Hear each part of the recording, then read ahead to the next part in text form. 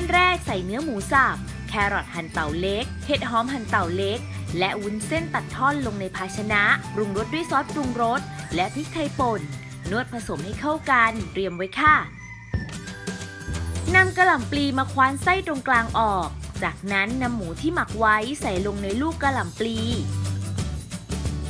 นำไปนึ่งในหม้อหุงต้มพร้อมชั้นนึ่ง 22 เซนติเมตร ชุดสุดซึ้งตราหัวมะลาย แข็งแรงทนทาน ต้านการเกิดสนิมได้ดีเยี่ยม ซื้อหนึ่งได้หม้อถึง 2 ใบ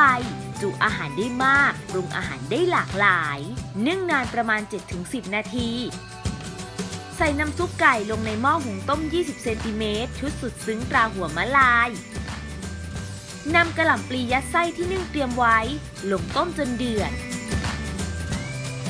แล้วใส่ต้นหอมหั่นท่อนและผักชีหั่นท่อน ปิดไฟค่ะ จัดต้มจืดกระหล่ำปลียัดไส้ลงในภาชนะ แล้วโรยหน้าด้วยกระเทียมเจียว รับประทานคู่กับข้าวหอมมะลิหุงสุก แค่นี้ก็เป็นอันเสร็จเรียบร้อยค่ะ ไม่ว่าจะทำเมนูอะไรก็ไม่ใช่เรื่องยากอีกต่อไป เพียงแค่มีเครื่องครัวสแตนเลสตราหัวมะลาย